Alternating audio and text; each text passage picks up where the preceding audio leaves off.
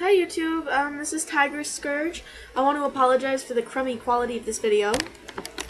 It's uh, currently 3.23 a.m.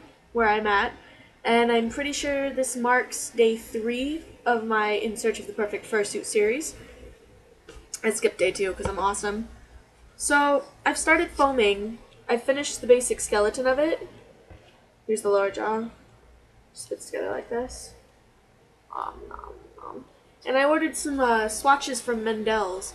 I want to do a teal base with orange highlights and coloring, with uh, black down here around the eyes. And I'm trying to do uh, realistic, but I think, I think the inner toon inside of me has tried to make it not so much. I'm gonna put this on and demonstrate what I fixed.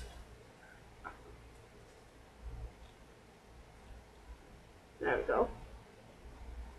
I made the mouth work. It's pretty cool, right? I know it looks really creepy, but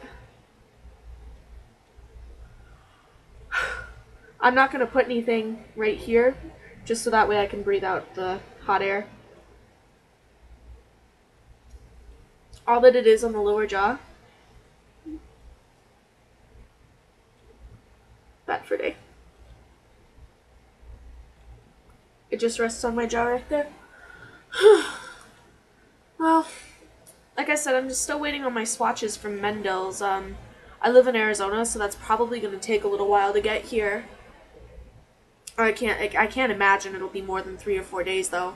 But after I do, um, I went down to where I used to work, and I got my last check, and it was for a pretty good sum of money, and I'm going to go ahead and use that to buy all the fur that I need. God, I'm excited.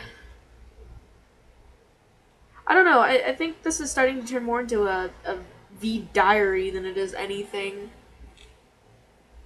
More not just in search of the perfect perfect fursuit, but more like a a blog of things. Oh, and in case you couldn't tell, this was supposed to be um, a very slim wolf. I'm thinking a maned wolf. I'm not sure if I want uh, Atrocity to have a mane or not.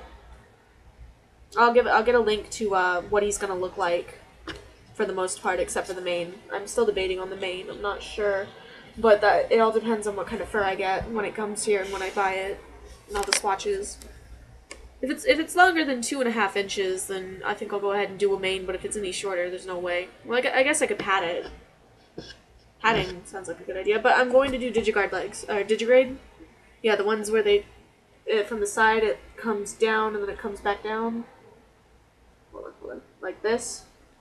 Then you the foot paws. Yeah, I saw uh, Matrices, uh, and I'll put a link to that in the description too. Matrices actually has a really good tutor tutorial for Digiguard, uh, Digigrade. keep pronouncing it wrong. Please correct me, someone. Uh, she has a really good tutorial for those kinds of legs, and um, it includes a foot paw tutorial with it. I'll include a link to her site.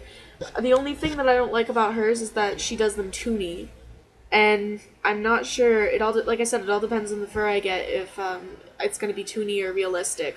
Ultimately, I want to shoot for that weird middle ground in between, but I know that's not always possible. All right, well, um, it's three thirty now, and I really should be off to bed. so I guess I'll see you guys later. Not that anybody's watching. Bye.